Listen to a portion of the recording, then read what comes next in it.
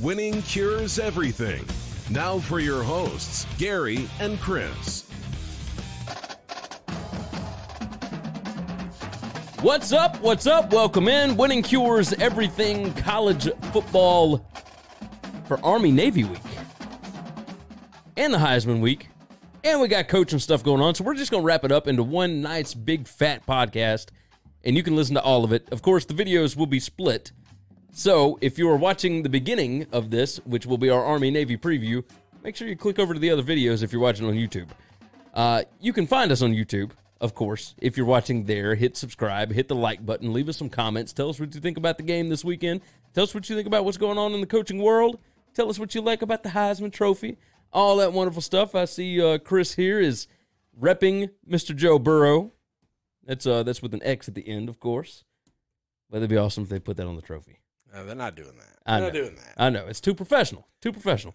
Either Class way, organization, the NCAA. Go to winningcureseverything.com. You will find all of our stuff over there our picks, previews, podcast, videos, social media platforms.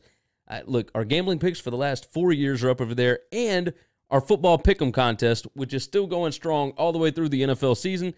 Tunica has sent us some more stuff to give away, so we're gonna give it away. We're gonna find all kind of ways to get you guys to win contests. So make sure you go enter the football picks contest over there. It's right up in the navigation bar. Check it out. If you're on YouTube, hit subscribe, hit like, leave us some comments. Tell us what you think about the show. Share the show out. Tell your buddies about it. All that wonderful stuff. If you're listening on the podcast, we appreciate you guys as well. Seriously, we really do. Leave a review. Leave a five star review. It's really easy to do on your phone now. Very simple stuff, especially over at Apple Podcast. That Apple algorithm helps us out a ton whenever you subscribe and leave a five star review. So we would appreciate if you'd knock that out. We got a couple of sponsors we got to knock out really quick. Smack Apparel. They got great stuff. Go to smackapparel.com. They got awesome t shirts for all your favorite pro and college teams. I'm telling you, you are going to appreciate this stuff. They got anti rivalry shirts, all that kind of stuff. If you're an LSU fan, you hate Alabama, they got stuff for you. Or if you just want something with your college logo on it that's uh, that's a really cool design, they got that stuff too. Go to smackapparel.com, use promo code WIN, that is W I N. You'll get a 20% discount off of your order, regardless of how big it is. Regardless of, so if it's over $40, by the way, it's going to ship for free. So go check that bad boy out. Smackapparel.com. Use promo code WIN for a 20% discount on that. And finally, every week for the last two years, the show has been brought to you by Tunica, Mississippi. And we cannot tell you how much we appreciate them and we love what they're doing down there. They've always got good stuff going on. Tunica, Mississippi is the South's premier sports gambling destination. They got six incredible sports books, along with a ton of really good steakhouses, some cool golf courses for when it warms up a little bit. They got concerts and comedians and all sorts of shows that are coming through all the time. You can find more information on all that over at tunicatravel.com. Let's go ahead and jump into this thing. Army Navy is this weekend, and man, two football seasons could not have gone any different than what we expected when the season started. I thought Army was going to be 11 and 2 this year. Now, It started off great. yeah, they certainly did. You gonna get that? I'm going to get Just my gonna- pen. Just gonna leave it there. No, because I need to write my stuff. I need to write my times down. Uh yeah, they they have got I, I expected Army to go really good. I expected Navy to have a losing season again. Neither of those things happened. Nope. Navy is sitting at 10 and 2. Yes, sir. Army is what? 5 and what are they? 6 and 6 right now? Nope. They're 5 and 7? well, they're five and six. No, because they played 13 games, I thought. Then they're six and six. Uh, no, they don't have six wins. I know that I was frustrated with the way we do the bowl things, and we always leave the Army Navy game out because what happens if Army wins this game? And then they get to six wins. and they don't get to a, a bowl game, right? But I think that's the thing. I think that they. Uh, I'm going to double check that because I didn't write it down for whatever reason, and which makes no sense. Like I typically write all this kind of stuff in our notes. Army is sitting at five and seven. That's that's what it is. So yeah. if they were five and six, though, that would be an issue. Well, they'll never be five and six because they'll always I don't think they always play 13 games. They played Hawaii this Okay. year, and you get like an exemption to play more games if you do that. Uh, but if they were sitting at five and six in this position, But if they get to kinda- six wins, if they win this game Saturday, you don't think they're a more deserving, and b the the actual bowl people would rather have Army than some of these bad bowl teams. You would think so. Um, I kind of think I know so. yeah, yeah. I mean, you're right. You're right. I I mean, do you not agree? I don't want this I don't to be know. I just don't know- you, you agree just to move the conversation. no, on. I just don't know that happens how well Army travels. Like, I don't think that they. I don't. I don't. You're right on that, but I'm going to assure you that a lot of these other bad schools Probably don't travel either. they don't travel either, and and you'd rather have one of the service academies. You're going to get people that will show up for the service academies. Yeah. You've got local people in every town in America, and every one of these places where these bowls are set, there are there's an Army National Guard in that town, and there is going to be like local Army people within a two to three hour drive that are going to come to this game.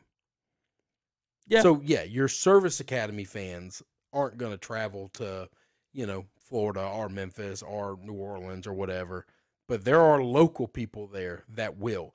Navy, case in point, is playing in the Liberty Bowl. We There'll a, be people there. we have a Navy base in Millington, outside just outside of Memphis. Navy's going to have a lot of fans. Yeah, I agree with that. A lot of fans. I agree. I agree. I, I absolutely think people will show up. Yeah, yeah. I think you're probably right. So if Army gets to six wins, somebody got some explaining to do. That's a good point. I mean, nobody feels bad they let Toledo out because we got 87 bowl teams. Yeah, Nobody, nobody feels bad for Toledo.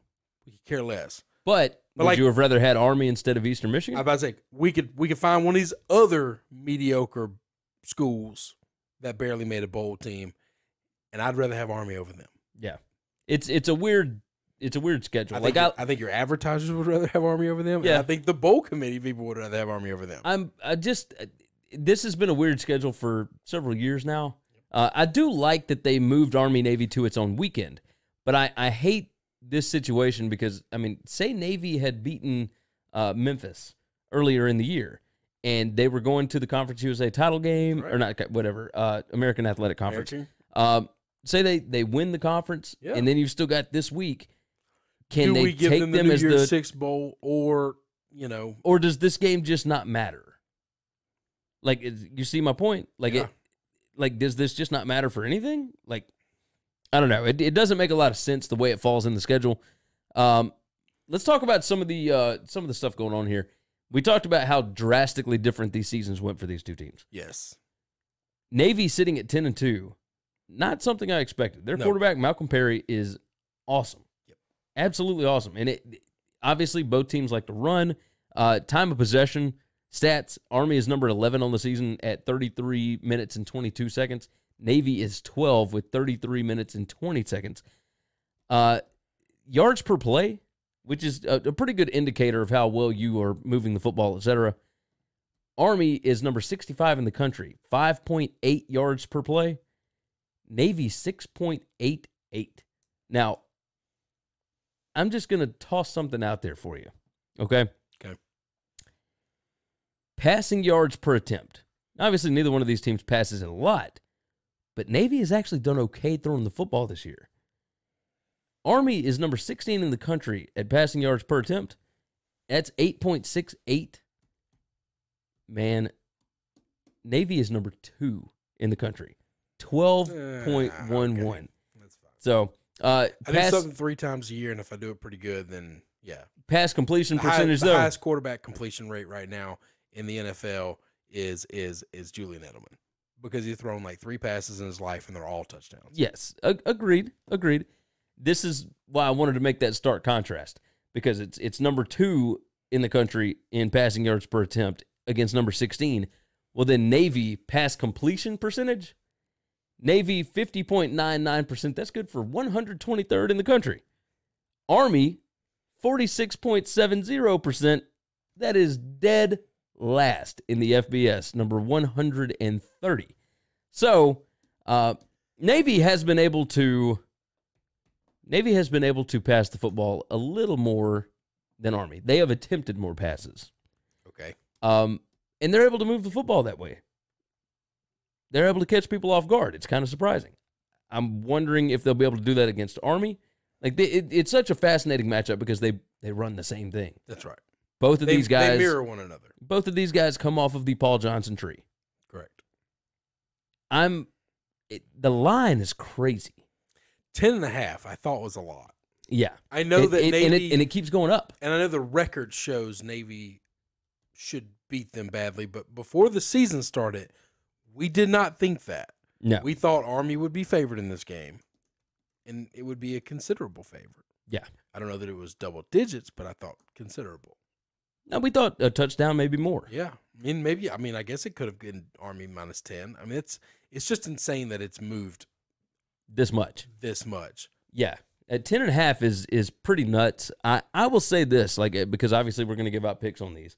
Um I'm gonna take Army to cover this game. Yeah, I think I am too. Like th- this will be low scoring. Um I I mean the under in this game has which what's the total on this? I was just pulling that up. Hang on, give me. The the under 40 and a half. 40 and a half. I, I'm going under.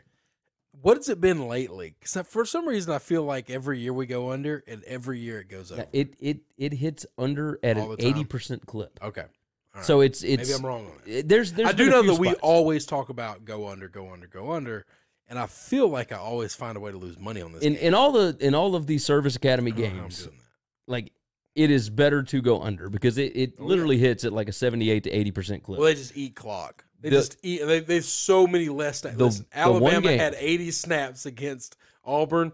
There won't be 80 snaps combined in this football No. game. the the under that that It'll be a very efficiently played game. So I- they- I, they will tell appreciate the you. military academy. They are efficient. yes 100 percent we'll be In in, and out out this thing three in- hours. Yeah, at less than that. Um, well, no College- commercial time. College they'll- football will not allow that. That's you It, got it a will not be less. you got a valid point. There, there's there's going to be a big audience It's for this. 60 It's- minute halftime show. Um, the only Service Academy game that doesn't go under regularly is Air Force and Navy. Okay. And that one this year, I mean, it was 35 I to was 20 about to say, I thought that was pretty high scoring. yeah, it was it was well in the 50s. So, yeah, uh, this one, however, I mean, every year it is 17 to 10, it is 21 to 14, We're expecting 21 to bad 17. weather, right? We're expecting. That. We know it's going to be cold. I don't know if it's going to be bad weather, but we, we know it's going to be cold. We know it's going to be cold. and and maybe gets maybe get a little precipitation. It's going to be played on grass, which means it's going to get muddy. Slow it down. is this one in It's Philadelphia? the this way. Yes, this is in Philly. That is is it in Philly every year? No, Because sometimes they- oh, it's Lincoln Oh. Financial. It might be every year. man, I don't think so though. I'm almost positive it's not every year. Because sometimes I thought it was at West Point. Sometimes I thought uh, at you you would feel like we'd be a little more prepared for this. We only have one game to talk about, Yeah, no, but we're getting into talking about things that we weren't really planning on talking about. yeah, that's true. That's true. Let's see, Philadelphia weather for Saturday. Oh, yes, sir. So high of fifty six, low of forty one. 80% chance of rain. Attaboy. That is what I'm, I'm going sounds like under. The, sounds like Philadelphia. I don't know. that's going under the So 40 and a was- half. It was played at the Linc last year. I guess maybe it is played in Philly every year. and That's I'm going to take disappointing. I'm gonna take Army plus 10 and a half, I'd like to see this played at one of these home stadiums. and I will take Navy to win the game straight up. But I guess they want a bigger crowd. Oh yeah, makes sense. Makes sense. So Army plus 10 and a half. I'm gonna take Navy straight up. Uh, are you doing the same thing? Yeah, I think I can't pull the trigger on the upset. I want to though. I I like mean, they, Army has won this game what three years in three a row? years in a row, at least two years in a row. I know that. Um, I always like we talk about this. These are the best uniforms in all of sports. Yes. The special uniforms they get for this game. I really like the Army uniforms a lot better. And this it, it- typically it's Navy. I don't know. I've I've liked the Army ones in the past too, but I I really like the Army ones a lot better this year. Yeah. Yeah. Army has won three straight. So I knew they won the last two. yeah, this is uh Three years back, I I don't remember that far. that makes You're sense. asking a lot then. 21 to 17 uh last year. Hey, here we go. I just had that pulled up. So 21 to 17 uh 3 years ago, 14 to 13 2 years ago, 17 to In- 10 Yeah, last yeah, year. there you go. Touchdown game last year. Yeah, it, it you have to go a long ways back before you get to any game that uh that broke 40 and that would be 2013 when Navy won 34 to 7. What was that 21-17 game? 21-17 That busted the over though. that's I mean that's 38. Yeah, but I don't know that the over under was 40. It might not have been. It may have it may have gone over there. But I know that I've lost money on that under before. Yeah, probably so. Now it could have been 10 years ago. I don't. Who knows? Once you get past 2 years, I told you, it could be 3 years, it could have been a decade. I, Yeah. It's all the same up here. It is uh it's strange. Army's defense is is not great this season. What happened? Um well, I mean they they just lost- their Super Bowl was was against uh, Michigan and they they lost that game cuz they played the perfect football game against. Michigan. And then they didn't not not play perfect. They didn't play good the rest of the year. I think it has more to do with losing Jay Bateman last year. Okay. I think I think he deserves a lot more credit for that defense than than we gave him credit for. Probably. that Um, makes sense. I can see that. And they they lost him and and they've just not been the same team. I Which is which is crazy. Like the offense has not changed much at at all. Well, Um, no, their offense and they- they were returning- is the exact same. Yeah, they were returning basically everybody, and that's why we were all so gung ho about uh, this schedule's easy. They'll be able to da da da da. da. But you lose a very integral part of your team and your scheme with that coach. Like I, I think Bateman meant a lot more to Army than uh, than we gave him credit for. So we're both Army plus ten and a half, but we are taking Navy to win the game, right? Yes, sir. Sounds sounds good to me. Thanks for checking out Winning Cures Everything. If you want to keep up with us, hit subscribe on YouTube or your favorite podcast app. Visit the website at winningcureseverything.com, or you can like us on Facebook or follow us at Winning Cures, at Gary WCE, or at Chris B. Giannini on Twitter. Share out the show, leave a nice review, and make sure to comment and tweet at us.